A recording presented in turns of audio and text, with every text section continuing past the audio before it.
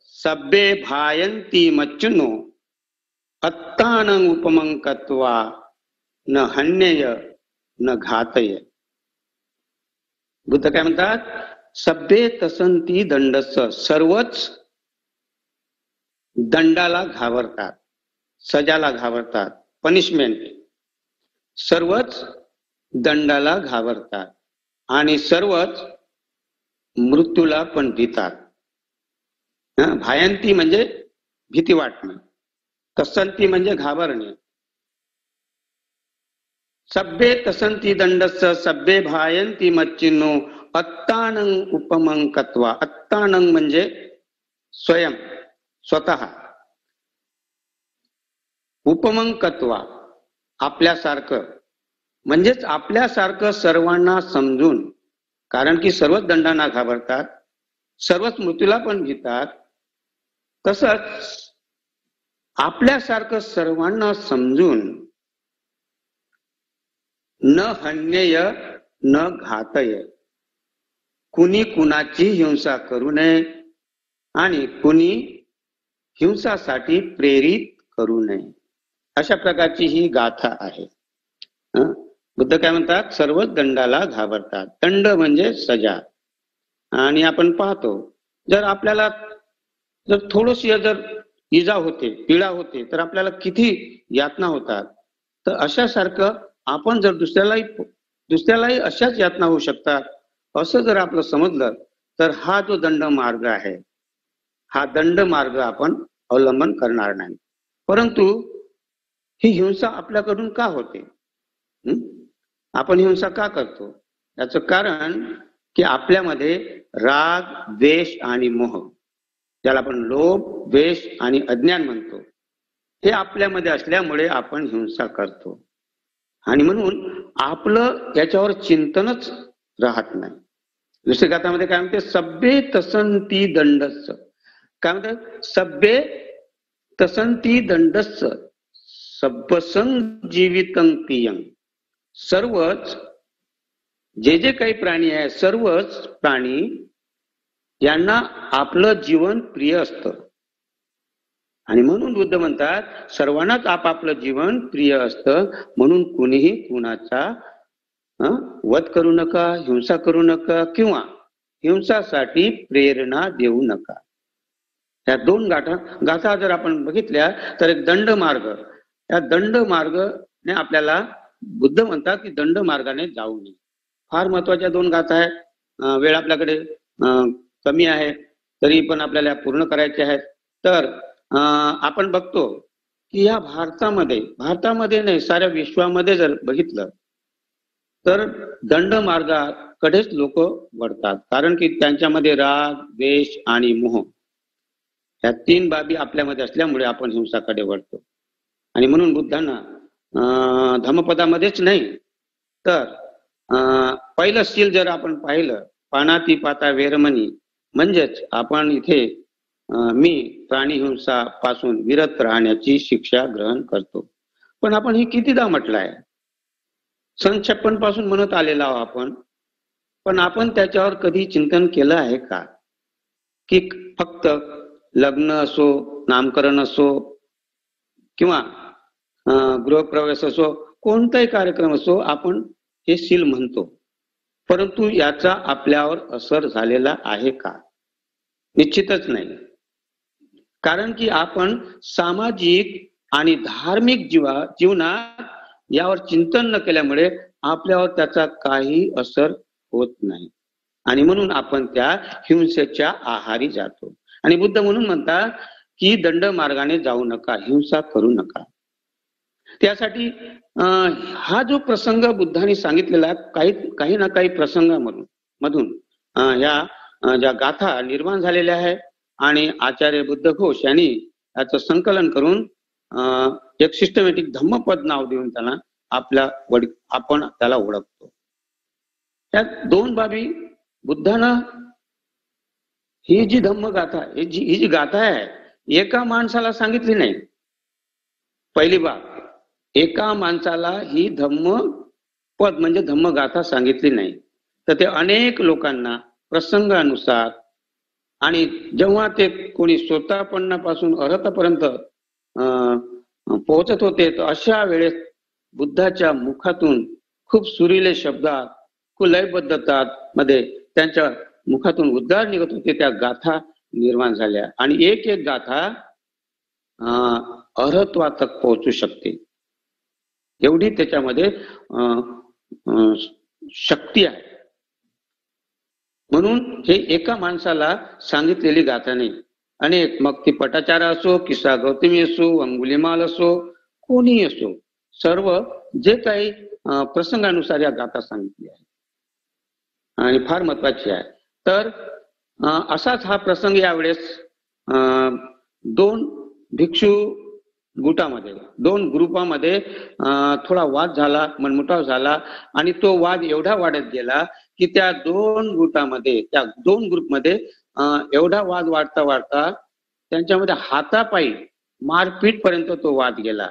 आणि मग ही बातमी ही खबर बुद्धाकडे गेली आणि मग बुद्धाने सर्वांना बोलवून तिथे हे दोन ग्रुपच नाही तर आणखीन जे काही भिक्षू होते सर्व सर्वांना एकत्रित करून आणि त्या दोन्ही ग्रुपांना दोन्ही गुटांना बोलून इथे बुद्धांनी जी शिक त्यांना जी जो उपदेश दिला तो मी आपल्यासमोर सांगण्याचा प्रयत्न करणार आहे.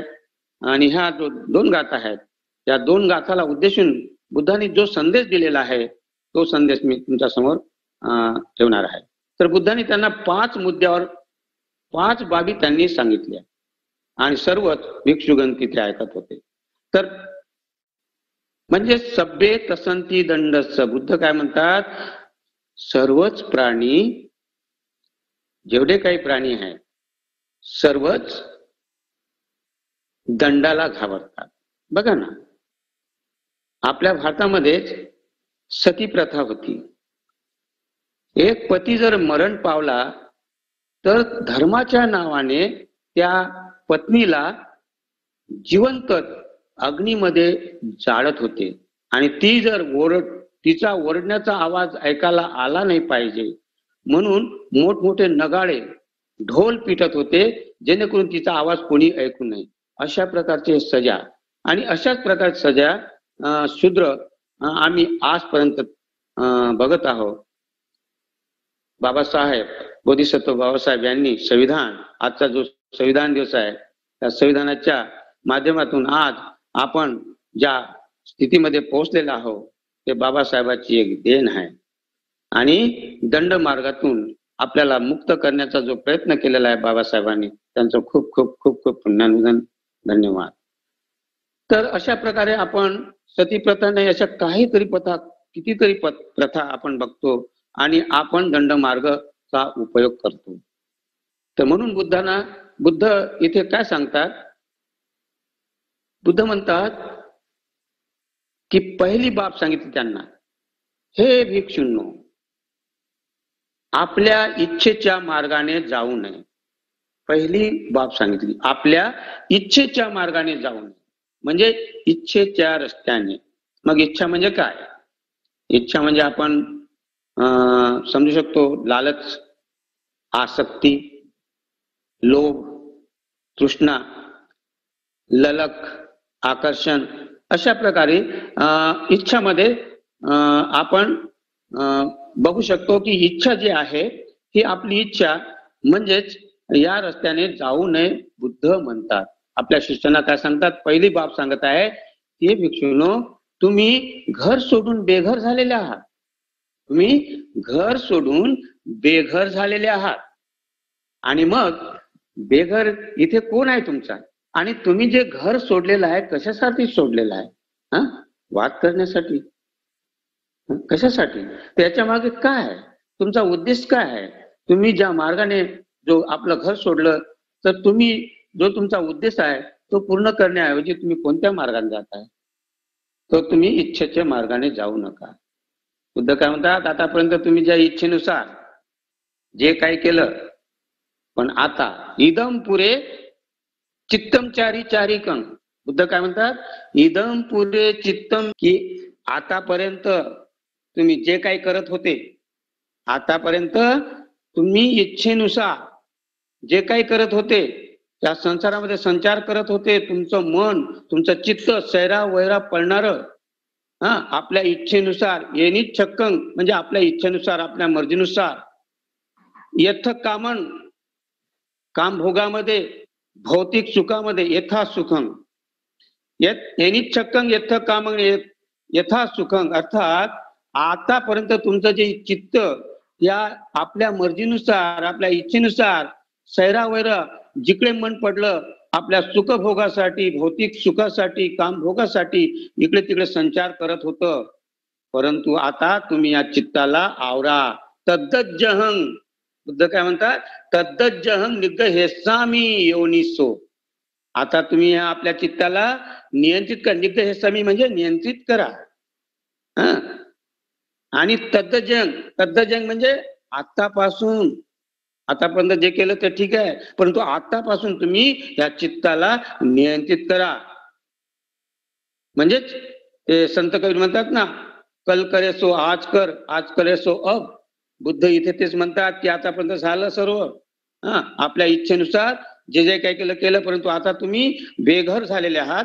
तुम्ही आता संसार सोडून इथे आलेले आहात. प्रवजित झालेला आहे. आता तुम्ही आपल्या चित्ताला आवरा. आपल्या चित्ताला नियंत्रित करा. आणि कसं नियंत्रित करा? हतिप भनवीय अंकुश गहू अंकुश गहू म्हणजे अंकुशधारी. ज्याप्रमाणे हत्याला एक अंकुशधारी एक माहूत एक रिंग मास्टर ज्याप्रमाणे नियंत्रित करतो हत्याला उठ म्हटलं तर उठतो बस म्हटलं तर बसतो चाल म्हटलं तर चालतो. अशा प्रकारे ज्याप्रमाणे एक हत्तीला एक अंकुशधारी नियंत्रित करतो त्याप्रमाणे तुम्ही आपल्या चित्ताला आतापासून सुरुवात करा नियंत्रित करण्यासाठी. आणि असंच नाही म्हणतात नियंत्रितच करा नाही म्हणत. काय म्हणतात? तद्दजहंग निग्ग हे सामी योनिसो. योनिसो चा अर्थ चांगल्या प्रकारे स्मृतीपूर्वक चांगल्या प्रकारे आता त्या चित्ताला नियंत्रित करा. अशा प्रकारे बुद्ध इच्छेनुसार म्हणजे या इच्छेवर कसं कंट्रोल करायचं असं सांगतात. आणि बुद्ध काय म्हणतात मी पण तुमच्या सारखाच असा भटकत होतो कालपर्यंत. मी पण तुमच्या सारखाच असा भटकत होतो. अनेक जाती संसारंग संधी विसंग आणि विसंग ग कारकंग वे संतो. दुःख जाती पुन्हा पुन्हा मी पण असाच वारंवार वारंवार जन्म घेत राहिलो आणि ह्या दुःखामध्ये तळपत राहिलो खूप खूप तळपत राहिलो यातना सहन रा सहन करत राहिलो दुःख भोगत राहिलो. कारण की हे जे घर बनवणारा आहे या घर बनवण्याला मी शोधत राहिलो पण तो गवसलाच नाही. काय म्हणते? ग कारकंग व्यसन तो गवसलाच नाही सापडलाच नाही. आणि म्हणून मी दुःख दुःख भोगत राहिलो दुःख यातना सहन करत राहिलो. पण काय म्हणतात मग? ग कारकंग दिठोसी पुन्हा गेहन का हसी. आता मी त्याला ओळखलं. हे घर हे जे घर आहे हे जे घर बनवण्याला मी आता ओळखलेलं आहे. आता पुन्हा घेणं का अशी आता तो ह्या घराचं पुन्हा निर्माण करू शकत नाही. कारण की मी आता त्याला ओळखलं आणि भग्गा ते फासुका. म्हणतात? भग्गा ते फासुका. भग्गा ते फासुका मतलब फास म्हणे वेळू बास ज्याप्रमाणे घराची सामग्री हा काय काय असते घर बनवण्यासाठी? वेळू आहे फाटे आहे माती आहे गोटे आहे चुना आहे ना? ज्याप्रमाणे गवत आहे हे सर्व जर वस्तू एकत्र करून आपण त्याचं घर बनवतो तर ह्या घराची सामग्रीच मी आता काय केली? नष्ट केलेली आहे छिन्न भिन्न केलेली आहे ज्याप्रमाणे घर बनवू शकत नाही त्याप्रमाणे काय म्हणते? ग कुठंग विसक्तितंग विसंखार गतं चित्तंग तन्हान खयमत जगा याचप्रमाणे मी हे तृष्णा ही वासना ही इच्छा हे इच्छा तू ह्या घराला बनवणारी तूच आहे पण आता तुझी मी सारी सामग्री नष्ट केलेली आहे. ज्याप्रमाणे घराची सामग्री इटा मट्टी गोटे जसे राहतात त्याप्रमाणे तुझी सामग्रीला मी ओळखलेला आहे आणि त्याला मी काय केलेला आहे छिन्न भिन्न केलेलं आहे तसमस केलेला आहे. तर तुझी सामग्री कोणती आहे? तर तुझी सामग्री आहे ईर्ष्या मत्सर जलन गुस्सा द्वेष अहंकार स्पर्धा शल कपट माचर्य मृक्षा माया शाट्य मत हे तुझं काय आहे? सामग्री आहे. तुझे साधन आहे. पण या साधनाला मी काय केलेलं आहे? मस्त केलेलं आहे. तर भिक्षुनो त्याप्रमाणे तुम्ही पण तुम्ही पण आपली हे जी सामग्री आहे इच्छा आहे ह्या इच्छाचे जे जे काही सामग्री आहे याला तुम्ही काय करायचं? याला छिन्न भिन्न करा. नष्ट करा. कारण की ही इच्छा जी आहे हे इच्छा ही तृष्णाच दुःखाचं कारण आहे. बुद्ध काय म्हणतात? कथमंच भिक्कवे दुःखं समुदयं यम हरियं सच्चंग काय? काय आहे भिक्षू? दुःखाचं कारण काय आहे? तो इदम खोपण भिक्कवे दुःख समुदयम यम हरियं सच्चंग याय तन्हा. याय तन्हा म्हणजेच तृष्णा. हे तृष्णाच आहे.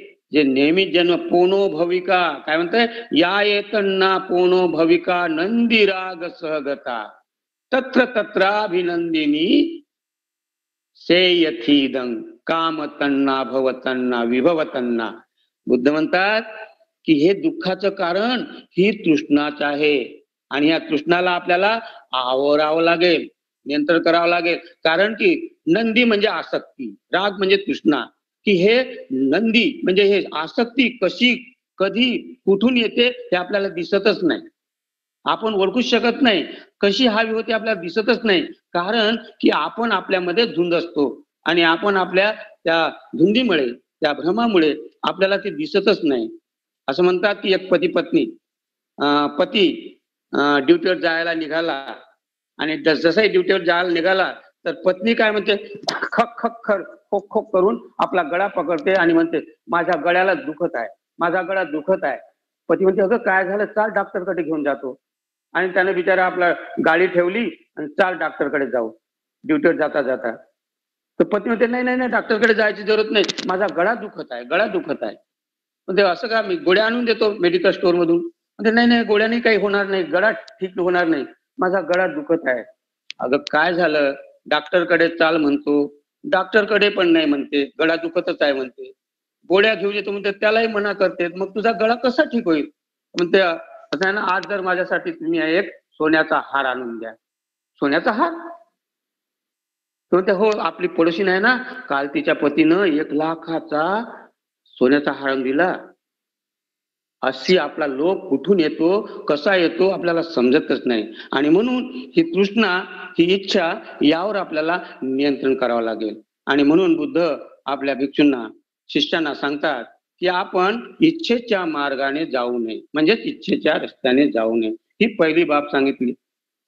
दुसरी बाब सांगतात बुद्ध की भयाच्या म्हणजेच भीतीच्या रस्त्याने जाऊ नका. आणि भीतीच्या रस्त्याने जाऊ नका म्हणजे भय. हा? भय. पण आपल्याला बघितलं तर भय आपण बघा आपण किती जेव्हा जेव्हा आपण बघतो तर आपण भीतीमुळेच. म्हणून तर म्हणतात ना की मृत्यू हा सर्वात भीती आहे. मी भीतीवर आता जास्त सांगणार नाही कारण पाच मुद्दे आपल्याकडे आहेत सांगायचे. तर त्याच्यातला दुसराच मुद्दा चालू आहे. तर तुम्हाला मी भूत पर्यत आदी हे हे भय नाहीये. बुद्ध काय म्हणतात भयसाठी? निरय वग्गामध्ये एक गाथा सांगितली आहे. त्याच्यामध्ये तुम्ही जर वाचाल तर त्याच्यामध्ये म्हणतात अलज्जिताय लज्जंती लज्जिता येन लज्जरे। मिच्छादिट्टी समाधाना सत्ता गच्छंती दुर्गती। अभयच भय दस्तिनो भयच अभय दस्तिनो मिच्छादिट्टी समाधाना सत्ता गच्छंती दुर्गती। काय म्हणतात बुद्ध? जिथे आपल्याला भीती वाटायला पाहिजे तिथे भीती वाटत नाही. जिथे आपल्याला भीती वाटायला नाही पाहिजे तिथे भीती वाटते. आणि पहिली काय म्हणते? अलज्जित आहे लज्जंती जिथे आपल्याला लाज वाटायला पाहिजे तिथे लाज वाटत नाही. आणि जिथे आपल्याला लाज वाटायला नाही पाहिजे तिथे लाज वाटते. म्हणजे बुद्ध काही इशारा करतात भीतीच्या रस्त्याने जाऊ नका बुद्ध म्हणतात. हे भिक्षूंनो भीती. तर भीती कशाची? हा? मी सर्व भीतीकडे जास्त सांगणार नाही. फक्त जे महत्त्वपूर्ण आहे ती तुमच्यासमोर सांगणार आहे. की बुद्ध म्हणतात की हिंसाची भीती वाटली पाहिजे आपल्याला. चोरीची भीती वाटली पाहिजे आपल्याला. व्यभिचाराची भीती वाटली पाहिजे आपल्याला. खोटे बोलण्याची भीती वाटली पाहिजे आपल्याला. नशापान करण्याची भीती वाटली पाहिजे आपल्याला. आणखीन आहे. कठोर बोलणं आगी. परंतु आपल्याला कमी सदग्रस्तासाठी या पाच भीती यालाच बुद्ध काय म्हणतात? याची भीती वाटली पाहिजे आणि आपल्याला याची भीती वाटत नाही. भीती कशाची वाटते? की तो काय करल तो काय करल त्याचं नमस्कारा त्याचं काय नाव त्याची भीती वाटते. म्हणून बुद्ध म्हणतात जिथे लाज वाटायला पाहिजे तिथे लाज वाटत नाही. अलज्जिताय लज्जत अलज्जिताय लज्जंती लज्जितान ये लज्जरे. मिच्छादिठी समाधाना सत्ता गच्छंती दुःखती बुद्ध म्हणतात जिथे हिंसा करण्याची लाज वाटायला पाहिजे तिथे लाज वाटत नाही. चोरी करण्याची लाज वाटली पाहिजे तिथे लाज वाटत नाही. व्यभिचार करण्याची लाज वाटली पाहिजे तिथे व्यभिच तिथे लाज वाटत नाही. खोटं बोलण्याची लाज वाट वाटायला पाहिजे तिथे लाज वाटत नाही. जिथे नशापान करण्याची लाज वाटायला पाहिजे तिथे लाज वाटत नाही. म्हणजेच बुद्ध इथे काय सांगतात की आपल्याला या भीती भयापा भयाच्या रस्त्याने जाऊ नये. बुद्ध इशारा करतात इथे की अशा रस्त्याने आपल्याला गेलं तर काय म्हणते? मिच्छा दित्ती समाधान सत्ता गच्छंती दुर्गती. सत्ता म्हणजे संसार. सत्ता म्हणजे संसार. आणि हा संसार म्हणजे ही सत्ता म्हणजे संसार दुर्गतीकडे जातो. काय म्हणतात? गच्छंती दुर्गती. हा? मिथ्या दृष्टी ह्या मिथ्या दृष्टीमुळे ह्या मिथ्या संभ्रमणामुळे आपण म्हणजे हा संसार म्हणजे आपण दुर्गतीकडे जातो. म्हणून बुद्ध म्हणतात की आपल्याला या भयाच्या मार्गाने जाऊ नये. तिसरी बाब सांगतात बुद्ध देशाच्या रस्त्याने जाऊ नये. आणि द्वेष म्हणजे आपल्याला सर्वांनाच माहीत आहे. देश म्हणजेच देशाच्या मार्गाने द्वेषाच्या रस्त्याने. आणि देश म्हटलं तर आपल्याकडून मी पहिलेच सांगितलं की राग द्वेष आणि मोह या तीन बाबी आपल्यामध्ये असल्यामुळे आपल्याकडून हिंसा होते. हिंसा का होते? कारण की आपल्यामध्ये हिंसा का होते? याच्यासाठी होते की आपल्यामध्ये द्वेष आहे. आणि हा द्वेष कसा काय कार्य करतो? आपल्याला पण असं वाटतं की हा द्वेष कसा आला? आणि अकस्मात येते आपल्याला पतार चालत नाही. कसा कुठून कसा येते? आणि मग आपण एकदम आग बबला होतो. आपण न विचार करता काही विचार न करता घरी आपल्या कुटुंबापासूनच अर्ज सुरुवात केली तर आपण आपल्याकडे बघा. हा घरी आपल्याकडे जे होतात कल वगैरे वाद विवाद होतात कशापासून होतात? कुठून होतात? बुद्धाला एक विद्वान आला विचारण्यासाठी. एक विद्वानच येत होते बुद्धाला विचारण्यासाठी कोणी देवदेवता म्हणत होते त्यावेळेस. कोणी विद्वान येत होता आणि त्या विद्वानाने बुद्धाला म्हटलं कुतो पहुता कल विवादा. परिदेव शोका स मच्छराच माना ती माना स मान स पेसुनाच काय म्हणतात बुद्धाला? की हे भगवान कुतो पहुता कल विवाद. हा कल हा विवाद हा झगडा हा हा लोभ आणि परिदेव म्हणजे हे छाती पिटून पिटून विलाप करणे रडणे आक्रोश करणे विलाप करणे हा चुगली चाळी निंदा करणे मान अपमान ह्या ज्या बाबी आहेत ह्या कुठून निर्माण होतात? तर बुद्ध म्हणतात पिय पहुता कलह विवादा. पिय पहुता कलह विवादा परिदेव शोका सहमच्छराच माना तिमाना स पेसुनाच. पेसुना म्हणजे पिसून म्हणजे चुगली चाळी निंदा. मान अपमान कलह वाद विवाद झगडा भांडण हा कंजुसी आणि काय म्हणतात? परिदेव. परिदेव म्हणजे विलाप करणे. छाती पिटून पिटून आपण विलाप करतो. कधी कधी इतने यातना आपल्यामध्ये होतात की आपण छाती पिटून पिटून रटतो शोक होतो आपल्याला. त्या शोक पश्चाताप हे जे सर्व काही आहे प्रियापासून निर्माण होते. आणि जे आपले प्रिय आहे तिथूनच हे निर्माण होतात. आणि म्हणून हा द्वेष पण आपल्याला प्रियापासूनच निर्माण होतो. आपल्या आई वडील माप आई वडील भाऊ बहीण हा पती पत्नी मुलं बाळ मित्र सहपाठी अशा सारखे इथूनच हा कलह निर्माण होतो वाद निर्माण होतो बुद्ध म्हणतात. म्हणून या द्वेषावर आपल्याला कसा कुठून कुठून हा प्रवेश करेल पता चालत नाही. आणि मग त्या द्वेषामध्ये आपण अधीन होतो. असं म्हणतात की एक आंधळ्याला एका मित्रानं त्याला घरी निमंत्रण दिलेलं आहे. आमंत्रण दिलेलं आहे जेवणासाठी. आणि तो आंधळा हे दोघं मित्र खूप जुने पुराणे होते त्यांचे मित्र. म्हणून त्या आंधळ्याला एका मित्रानं घरी भोजनावर बोलावलं आणि भोजन करून खूप गप्पा मारायला लागले. कारण की इकडल्या तिकडल्या जे आता पुष्कळ दिवसांनी मिळाले खूप गप्पा मारता मारता रात्र झाली. आता रात्र झाली काळोख रात्र होती अंधेरी रात होती. म्हणून तो मित्र म्हणतो की आंधळ्याला मित्र आता खूप रात झालेली आहे आता आपण झोपूया. तर आंधळा म्हणतो नाही मी घरी जाणार आहे. आता तर मी जातो. तर आंधळानंतर तो आंधळा घरी जाण्यासाठी निघतो तर त्याला काय म्हणतो त्याचा मित्र थांब मित्रा. आणि आत घरामध्ये जाऊन एक कंदील घेऊन येतो लालटेल घेऊन येतो. आणि कंदील त्याच्या हाती देऊन म्हणतो की मित्र हा कंदील घेऊन जा. कंदील घेऊन जा. तर त्या मित्राला एकदम राग आला. एकदम आग बबुला झाला बोल मी अंधळा आहे तुला माहीत आहे आणि तू माझा अपमान कर करतोस. तू मला याच्यासाठी जेवणासाठी बोलावलं आतापर्यंत गप्पा मारल्या काय मी आंधळा आहे म्हणून माझा अपमान करण्यासाठी मला कंदिलाची काय आवश्यकता आहे? आणि तो खूप आपला तो काय म्हणतो त्याचा मित्र? म्हणजे मित्र ऐक माझी गोष्ट ऐक. पण तो ऐकायला तयार नाही. तू बेमान आहे. तू मला अपमानासाठी बोलावला तू तू माझा मित्र नाही तू दुश्मन आहे तू शत्रू आहे. अशा सारखा अनाप शनाप तो त्याला बोलायला लागला. परंतु तो हात जोडून म्हणता मित्र माझी एक गोष्ट आहे. त्यानंतर तुला जे काय करायचं कर. पण त्याचं ऐकायला तयार नाही. आणि आग बबला होतं त्याचा जेवढे काही त्याला म्हणायचं ते तो अंधारात चालू केलं. आणि मग शेवटी म्हणते सांग तुला काय सांगायचं आता. आणि आतापासून तू जी मित्रता समाप्त आतापासून आता तू माझा मित्र नाही. आणि मग मित्र म्हणते मित्रा मी याच्यासाठी तुला कंदील दिलेला आहे की रस्ता ओबड खाबड आहे जंगलाचा रस्ता आहे आणि अंधारी काळोखी रात्र आहे. जर तू येथून जाशील तर तू तर बरोबर जाशील. कारण तुला दिवस काय रात्र काय तुला काही फरक पडणार नाही. परंतु तिकडून येणारे वाटसरू आहेत. कोणी येणारे जाणारे तिकडून आहेत.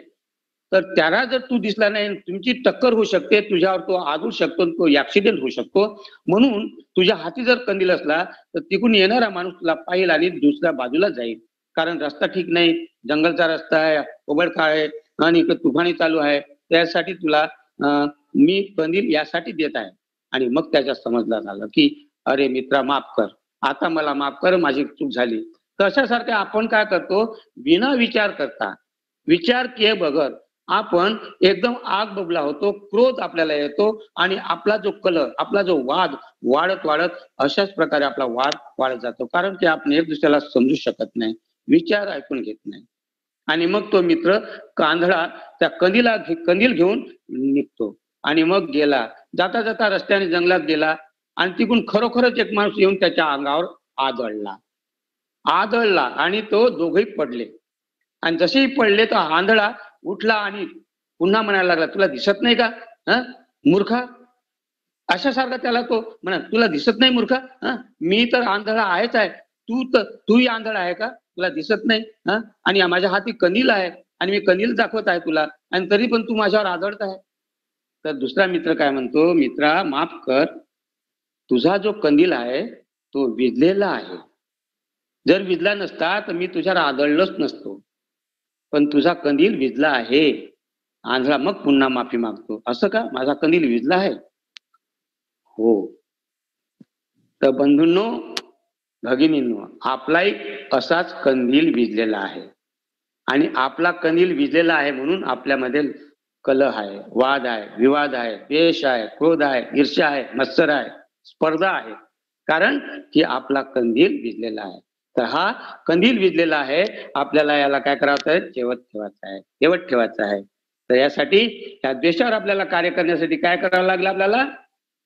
मैत्री भावना करावं लागेल. आणि जेव्हा आपण मैत्री भावना करू तेव्हा आपल्यामधून हा द्वेष हळूहळू हळूहळू काय होऊ शकते? हा? हळूहळू हा द्वेष आपल्यामधून निघून जाऊ शकते नाही का? तर आपल्याला मैत्री भावना करावा लागेल. आणि मैत्री भावनाचे असा टीका आहे ह्या द्वेषाच्या बिमारीवर की द्वेषाची जी बिमारी आहे याला हा मैत्री भावनेचा टीका मैत्रीच ठीक करू शकते. आणि म्हणून आपल्याला मैत्रीचा टीका लावायला लागेल. आणि जेव्हा आपण मैत्रीचा टीका लावू तर आपल्यामधला जो देश आहे हळूहळू हळूहळू शांत होऊ शांत होऊ शकतो. देशाचे जे पाच उपक्लेश आहे त्याच्यावर आपण कार्य करू शकतो. त्याला आपण क्रोध म्हणतो उपन्हा म्हणतो प्रदास म्हणतो ईर्ष्या म्हणतो आणि विहिंसा म्हणतो. अशा प्रकारे आपल्या मध्ये जे उपक्लेश आहे त्या देशाचे तेव्हा त्या मैत्रीचा अगर आपण सराव केला तर आपल्यामध्ये जशी जशी मैत्री विकसित होईल तशा तशा आपल्यामध्ये दोन बाबी निर्माण होऊ शकतात.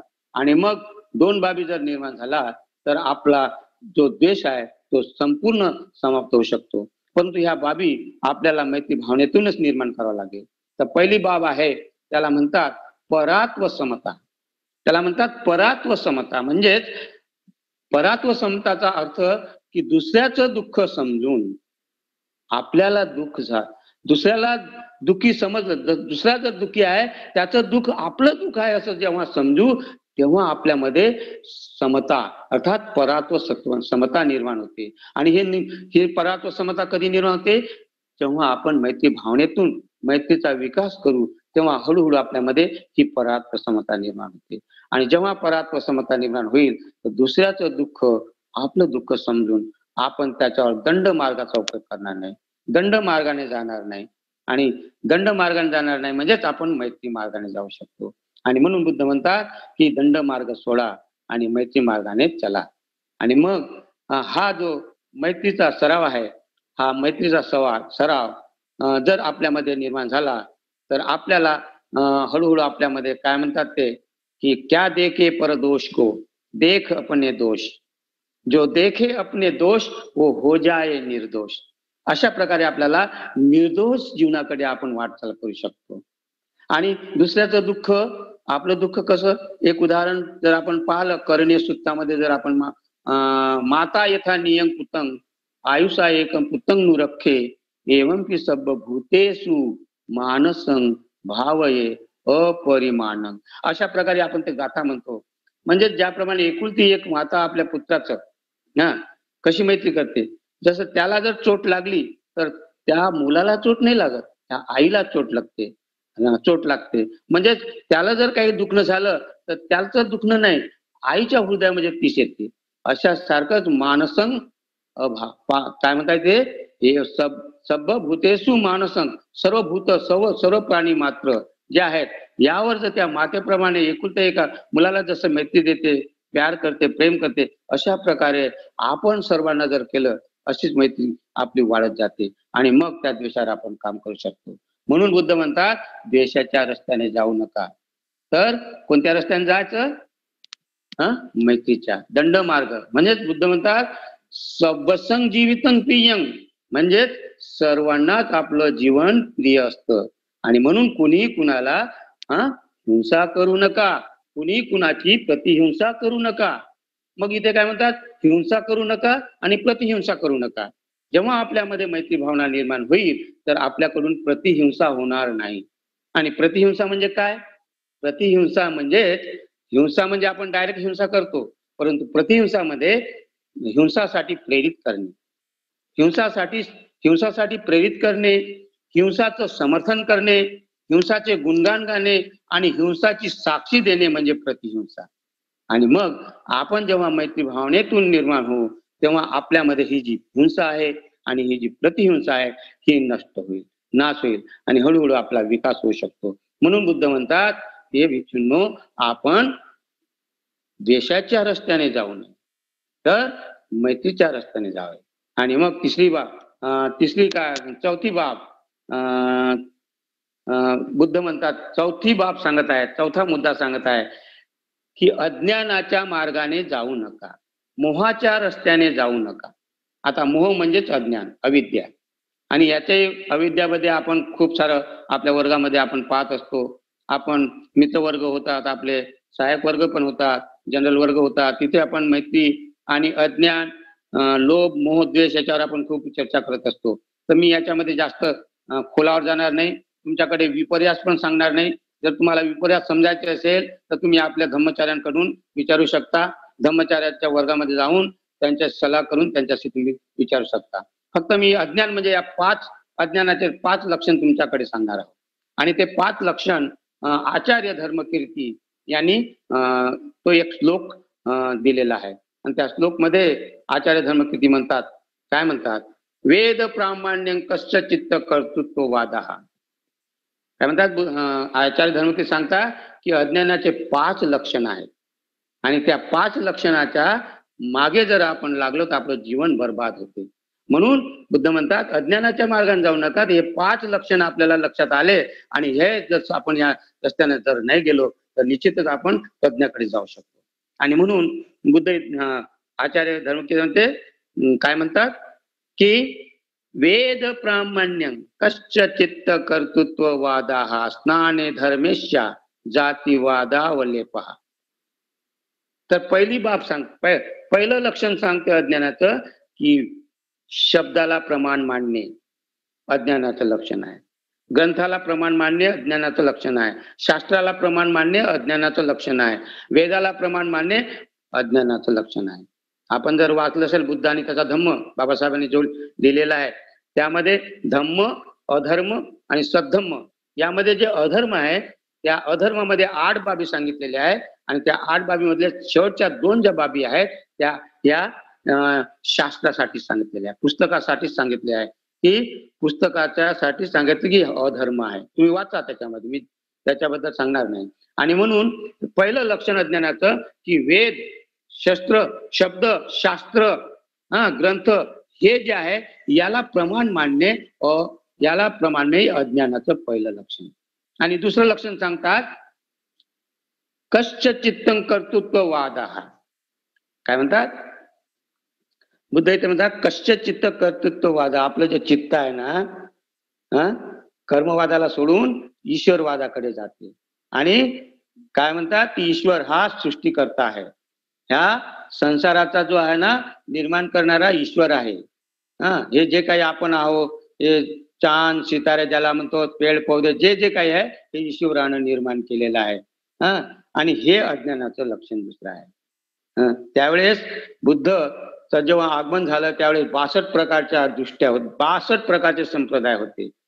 मग किती बुद्धाला त्यावेळेस सर्वच त्याच्यामध्ये ईश्वर आणि आत्म्यामध्ये गुरफटलेले होते.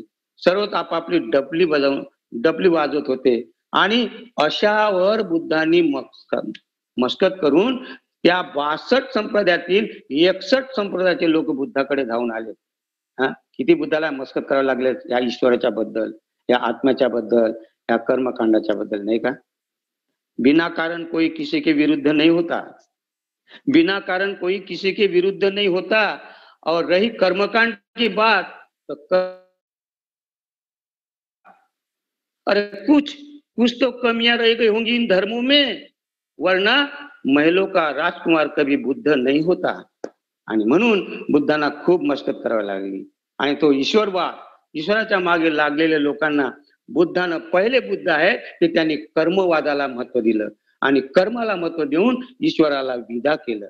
अशा प्रकारे दुसरं जे अज्ञानाचं लक्षण आहे त्याला म्हणतात ईश्वर आहे सृष्टी करता हा हे दुसरं. तिसरं स्नाने धर्मेशच्या जातीवादावलेपा. स्नाने धर्मेशच्या स्नान म्हणजेच तुम्ही दिवसभर पाप करा. त्या काही करा चोरी करा हिंसा करा व्यभिचार करा खोटं बोला नशापान करा कठोर बोला हा चुगली चाळी करा निंदा करा काही करा आणि जाऊन मग डुबकी मारा गंगेमध्ये. तर तुमचं सर्व पाप धुवून जाईल. हे एक अज्ञानाचं लक्षण आहे. बुद्ध म्हणतात स्नाने धर्माचं असं काही होणार नाही. अरे तुम्ही जेवढं पाप केलं आहे तर ते जर त्या नदीत जाऊन डुबकी माराल तर जे पुण्य केलं ते इथं जाईल ना. पण आपण मूर्ख.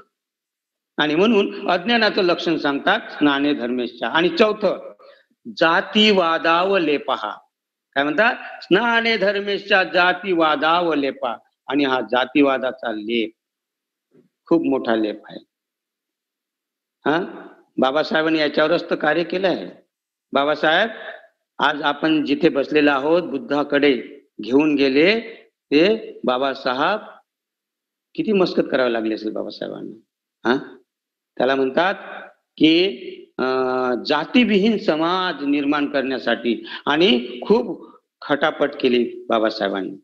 परंतु त्यामध्ये उद्धार झाला नाही आणि मग त्यांना वाटलं की इथे राहून आपला उद्धार होणार नाही आणि मग ते बुद्धाकडे घेऊन गेले. तिथे जातीविहीन जातीविहीन आहे. तर मग आपल्याला इथे जातीवाद म्हणजे काय? तर आपण ब्राह्मणांना म्हणतो की ब्राह्मण आपल्याला जातीवाद म्हणजे शूद्र म्हणून आपल्यावर अत्याचार करतो क्षत्रिय अत्याचार करतो नाही का? आपण त्यांच्यावर खूप आपण काय लगाम कसतो. पण आपलं काय? आपण जातीवादामध्ये आहो का? अगर जर आपण बौद्ध आहोत तर आपण जातीवादामध्ये आहो का? बघा. तर आपल्यामध्ये ज्या उपजाती आहेत त्या उपजातीमध्ये आपणही आपली रोटी बेटीचा व्यवहार आहे का? जर आहे तर आपण बौद्ध आहो का? हॅलो हॅलो जातीवाद? तर जातीवाद आपल्यामध्ये कुटकुट भरलेला आहे हे असं मला वाटतं. कारण की आपण उपजातीमध्ये असतो का? आपल्याला पाहायला पाहिजे. जर आपण उपजातीमध्ये आहो आपला रोटी बेटीचा व्यवहार नाही तर मग आपल्यालाही जातीवाद लेप आहे बाबासाहेबांना हा जातीविहीन समाजसाठी काय काय केलं? हा? हा? आपल्याला कुठपर्यंत आणलं? किती हाल अपेष्टा सहन केल्या बाबासाहेबांनी आपल्याला बौद्ध बनवलं. काय म्हणतात ते? म्हणतात ना, फूल कहता है कि चमन बदल गया है और पंछी कहता है कि गगन बदल गया है।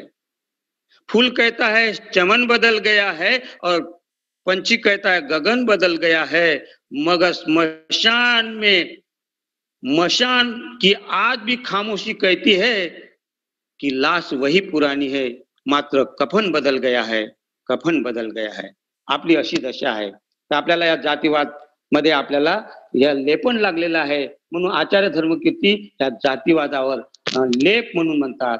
हे लेप जरी निघून जातील पण जातीवादाचा लेप निघत नाही. आणि याला आपल्याला काढण्यासाठी बाबासाहेबांना जातीविन समाज म्हणून आपल्याला बुद्ध धर्माकडे आणलेला आहे. हम गरीबो का? हा? हम गरीबो का एक ही तो था रखवाला.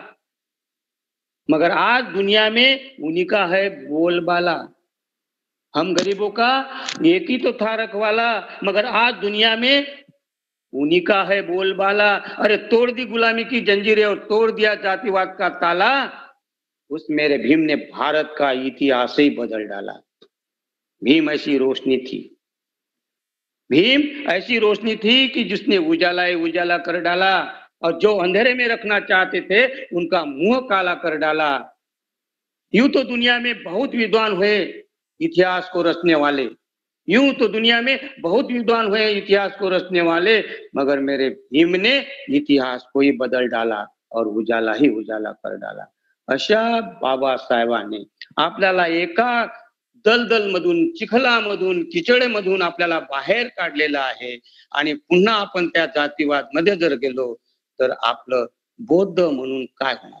म्हणून आपल्याला ह्या जातीवादी तोडायचे आहेत आणि बौद्ध म्हणून त्या सागरामध्ये जशा प्रकार कोणाचं गोत्रपात्र राहत नाही त्यासारखं आपल्याला बौद्ध बनायचं आहे. अशा सारखं अज्ञान म्हणून जातीवादावर लेपहा आणि पाचवी गोष्ट पाच पाचवं लक्षण सांगते संतापारंभा पाप हानाय चेती. हा? संतापारंभा पाप हानाय चेती ध्वस्त प्रज्ञा नामंग पंचलिंगानी जाडये. म्हणजेच काय म्हणतात इथे? की आपल्या शरीराला कष्ट देणे. हा? पीडा देणे उपास करणे तापास करणे उलटा हा? काय म्हणतात? एक दिवस उपवास दहा दिवस उपास तीस दिवस उपवास शरीराला कष्ट देणे. बुद्धानं बुद्धत्व प्राप्त होण्याच्या आधी किती कष्ट सहन केले आपल्यासाठी? अशासारखं त्याच्यातून काही निष्कर्ष निघाला नाही. तेव्हा बुद्धानं हे सर्व सोडून हे अति समजून हा सोडून मग त्यांनी बुद्धाने आपला मध्यम मार्ग काढला. हा? आणि आपण पुन्हा हे बुद्ध म्हणतात येते की संतापारंभा म्हणजे संत आपल्या शरीराला कष्ट देणे. आपल्या शरीराला कष्ट देणे आणि उपास तपास करणे उलटा करणे तपश्चर्या करणे. एक गाताच आहे या दंडवगामध्येच पुढे एक गाता आहे. न नग्गचर्या न जटान पंखा नाना सका थंडी लसाई कावा. रज्जोच चलंग कुटी कप धानंग शोधेती मंचंग अवितीन कंखंग. म्हणजेच नग्न राहिल्याने काही उपास तपास करण्याने का? किंवा जटा वाळवल्याने या लटा केस वाळवल्याने किंवा पावसाळ्यात उन्हाळ्यात किंवा कडकडीत थंडीत उभं राहून आपल्या शरीराला कष्ट देणे हे यानं काही शुद्धीकरण होत नाही. हा म्हणून मी एक याच्यामध्ये एक याच्यावर ह्या गाथेवरच एक मी थोडासा एक दोहा लिहिलेला आहे. तर काय म्हणतात? भस्म रमाने से सिद्धी नाही आती. भस्म रमाने से सिद्धी नाही आती. और जटाए बढ़ाने से बुद्धि नहीं आती। फिर चाहे लाख पढ़ो तुम गाता धर्म की बिना शिल संयम से शुद्धि नहीं आती। बिना शिल संयम से शुद्धी नाही आती। तर आपल्याला संताप म्हणजेच आपल्याला कष्ट देऊन उपास तपास करून काही हासिल होणार नाही तर आपल्याला शिलाचं पालन करावं लागेल संयमित जीवन करावं लागेल. म्हणून बुद्ध म्हणतात की ह्या अज्ञानाच्या मार्गाने जाऊ नका. आणि पाचवी बाब सांगतात बुद्ध. पाचवी बाब मी जाता जाता सांगत आहे. कारण की ह्या चार बाबी जर आपल्याला समजलेल्या आल्या बुद्ध तर पाचवी बाब सांगतात की आपली ओळख ठेवा. काय म्हणतात? बुद्ध आपली ओळख ठेवा.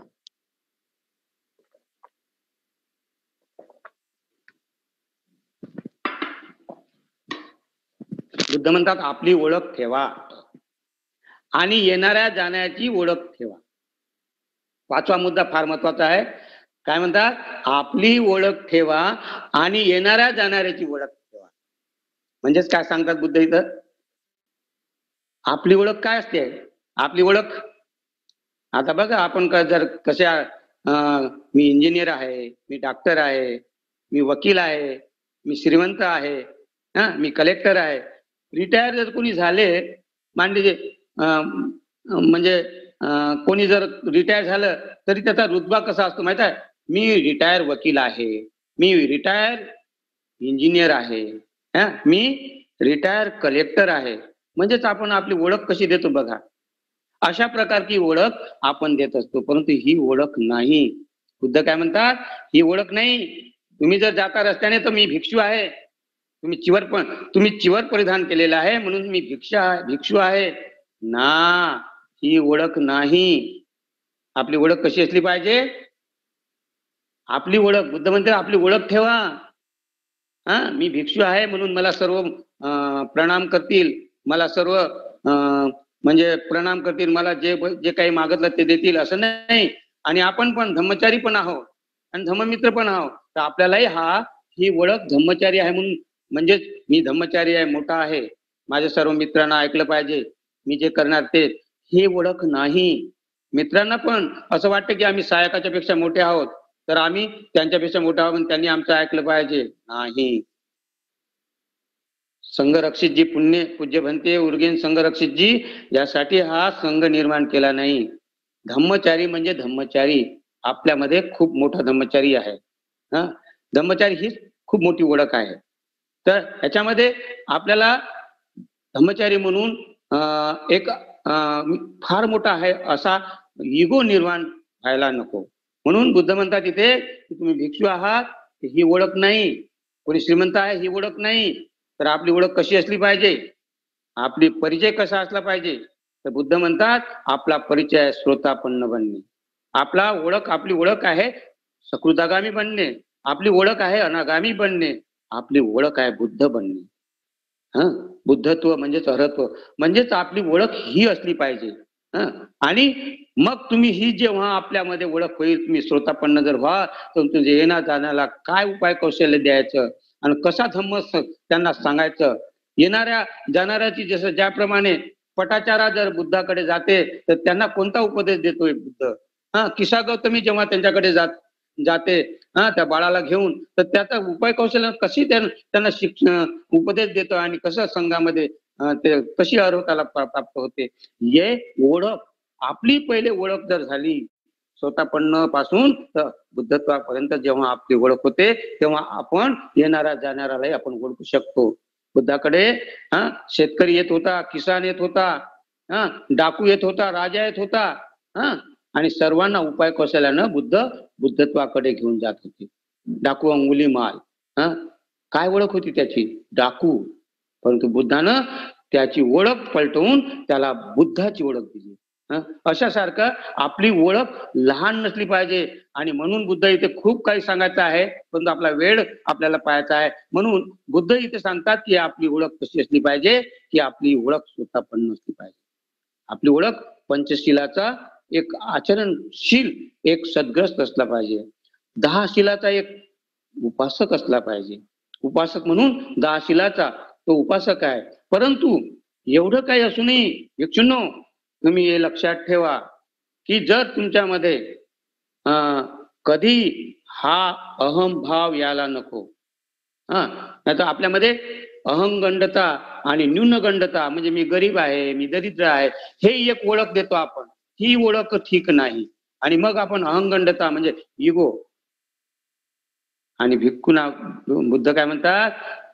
की बुद्ध बुद्धला फुस्सामी नेखम सुखम फुस्सामी नेखम सुखम म्हणजे बुद्ध काय म्हणतात तिथे की जर तुम्हाला जर तुम्ही शिलवान आहात तुम्ही एकांतवासी आहात तरी तुम्ही एकांतवासी आहे म्हणून दावा करू नका. तुम्ही शिलवान आहात म्हणून दावा करू नका. तुम्ही समाधी लावत आहात म्हणून समाधी मी समाधी लागलेली आहे म्हणून दावा करू नका. जोपर्यंत तुम्ही आश्रव क्षय करत नाही तोपर्यंत चैन बसू नका. जोपर्यंत तुम्ही अर्हत्व प्राप्त करत नाही तोपर्यंत असा दावा करू नका आणि चैन बसू नका. आरामशीर बसू नका. तुम्ही आश्रवासाठी आपल्याला निर्माण करा. आश्रवाच्या नाशासाठी आपण तयार व्हा आणि आश्रव मुक्त होऊन तुम्ही निर्वाणाकडे जाण्यासाठी मार्ग पत करा. आणि म्हणून बुद्ध म्हणतात इथे की आपली ओळख निर्वाणाकडे जाण्याची असली पाहिजे. आणि जेव्हा आपली ही ओळख होईल आणि अशा प्रकारे हे जे पाच मुद्दे बुद्ध अं, आपल्या शिष्यांना सांगतात आणि हा उपदेश देऊन बुद्ध म्हणतात की सभ्ये तसंती दंड सभ्य सजीवितं पियंग काय म्हणतात? की सर्वांनाच आपलं आपलं जीव जीवन प्रिय असतं. म्हणून कोणीही कुणाची हिंसा करू नका. म्हणजेच कुणाला मारू नका आणि कुणाला मारण्यासाठी प्रेरित करू नका. म्हणजेच प्रतिहिंसा करू नका. प्रतिहिंसा म्हणजे हिंसेचं समर्थन करू नका हिंसेचं गुणगान करू नका हिंसेची साक्षी देऊ नका आणि हिंसाला प्रेरित करू नका. अशा सारखं बुद्ध इथे न हण्यय न घातय. घात म्हणजे धोका देणे. घात म्हणजे प्रेरित करणे हा? मारण्यासाठी प्रेरित करणे. म्हणून बुद्ध ह्या दोन गाथा आपल्याकडे ठेवतात. आणि ह्या भिक्षूंना जेव्हा हा उपदेश देतोय बुद्ध आणि मग बुद्ध बुद्धाकडे ते जो दो दोन गट झालेले होते दोन ग्रुप झाले होते भिक्षूमध्ये एक सहा भिक्षूंचा गुट होता. या सहा भिक्षूंनी सतरा लोकांना सतरा भिक्षूंना मारलं. त्यांना हाता पायानी मारलं. त्यांना घायल केलं. कारण की ते जे एका विहारामध्ये राहत होते तर त्या विहारामध्ये ते सतरा लोक म्हणजे कोण- एका धम्मपदामध्ये सोळा पण लिहिलेले आहे. आता सोळा भिक्षू असो किंवा सतरा असो पण तो हा सोळा भिक्षूंचा ग्रुप आला आणि त्या विहारामध्ये राहायला कारण मोठा विहार होता. परंतु हे सहा भिक्षू म्हणत होते आमच्या विहारामध्ये तुम्ही राहू शकत नाही. कारण हा विहार आमचा आहे. ते म्हणजे विहार कोणाचा होत नाही? विहार सर्वांचा आहे. आम्ही राहू शकतो. अशा सारखी त्यांची अं, बाब आली. तर या सहा भिक्षू थोडे तगडे होते हा? आणि गडबड होते शिलाचं पालन करत नव्हते अहंकारी होते. आणि ह्या सहा भिक्षूंनी सोळा किंवा सतरा भिक्षूंना लातीने भुक्कांनी मारलं. आणि मग ते ओरडत गेले. आणि मग सर्व भिक्षू एकत्र झाले इकडे तिकडले. आणि मग ती बातमी बुद्धाकडे गेली. आणि मग बुद्धांना बुद्ध येऊन त्या सर्वांना बोलावून बुद्ध हा उपदेश देतात. आणि ह्या उपदेशामध्ये ह्या पाच बाबी त्यांना सांगतात. आणि या पाच बाबी आणखीन सविस्तर सांगायच्या आहे कारण का याला एकच वर्गामध्ये होऊ शकत नाही कारण याच्यामध्ये आपण तीन तीन वर्ग करू शकतो. परंतु आपण एकाच वर्गामध्ये पाहण्याचा प्रयत्न केलेला आहे. आणि ह्या पाच बाबी म्हणजे पहिली बाब म्हणजे इच्छेच्या रस्त्याने जाऊ नये. आणि दुसरी बाब म्हणजे भीतीच्या रस्त्याने जाऊ नये. तिसरी बाब म्हणजे देशाच्या रस्त्याने जाऊ नये. चौथी बाब म्हणजे अज्ञानाच्या मार्गाने जाऊ नये मोहाच्या मार्गाने जाऊ नये. आणि पाचवी बाब म्हणजे ओळख ठेवा. आपली ओळख ठेवा आणि आपली ओळख कशी ठेवा की आपण कसे बनू? स्वतः पण बनू. गोरखनाथजी काय म्हणतात? गोरखनाथ एक नाथपंथामध्ये हो-, होऊन गेलेले आहेत. हा या भारतामध्ये पाच पंथ ज्यांनी बुद्ध धम्मावर धावा बोललेला आहे. बुद्धाची सेवा केलेली आहे बुद्ध धम्माची परंतु ती संधी भाषा वापरून केलेली आहे. त्यामधला एक नवनाथ पंथ. काय म्हणतो गोरखनाथ? हा पहिले घट आरंभ फिर परचा फिर नासपती.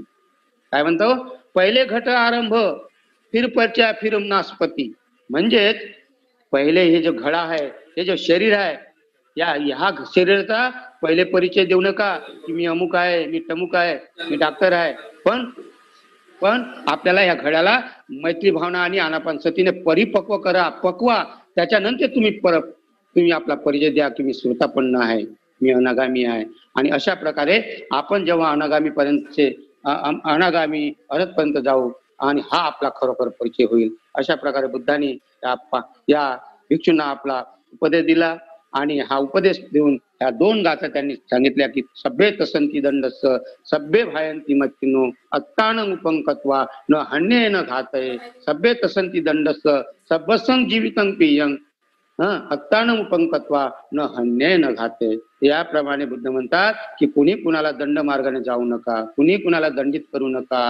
हा कारण सर्वच दंडाला घाबरतात सर्वच मृत्यूला घाबरतात आणि सर्वालाच आपलं जीवन प्रिय असतं. म्हणून कोणीही कुणाची हत्या करू नये कोणी कुणाची हिंसा करू नये आणि कुणी कुणाचा हिंसासाठी प्रेरित करू नये. त्याप्रमाणे मी आपल्यासमोर आज या धर्मवर्गामध्ये या दोन गाथा मांडण्याचा प्रयत्न केला. आपण सर्वांना सर्वांनी उपस्थित सर्वांनी शांतपणे ऐकून घेतलं. मी सर्वांनाच आपल्या अंतर्मनाला प्रणाम